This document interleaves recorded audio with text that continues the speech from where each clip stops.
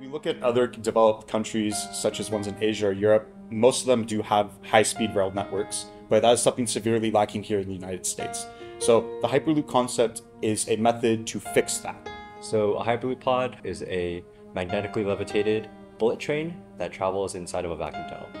Recognized as the fifth mode of transportation. It also allows you to cut down on the carbon footprint that you leave with traditional forms of transportation. This is a revolutionary transportation method that would significantly benefit the public transportation network here in the United States.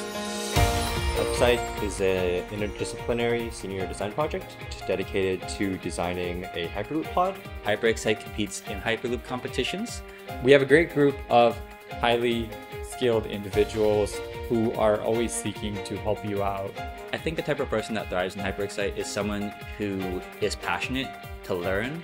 Someone willing to problem solve. Someone who has a creative mind. Regardless of your technical skill level, I think the people that thrive the most in HyperXite are the people that are just passionate about engineering. We do a great job at fostering that, that connection with other people um, through not only engineering together, not only going through meetings together, but going and spending time outside of class and getting to know on a personal level my my uh, colleagues. I can say that they've kind of transcended colleagues and become my friends.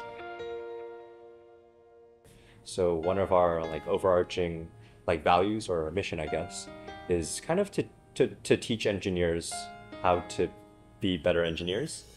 I hope to instill confidence and the real Passion for engineering. Engineering definitely kicks you while you're down. It's not an easy task to design anything for that matter. I think that HyperXite really emphasizes learning from your mistakes and just learning from the project. I've really found a place where I was able to like develop things on my own and like feel like I was actually contributing to something. being able to be a part of this community that is just something that will just be beneficial wherever you go in life.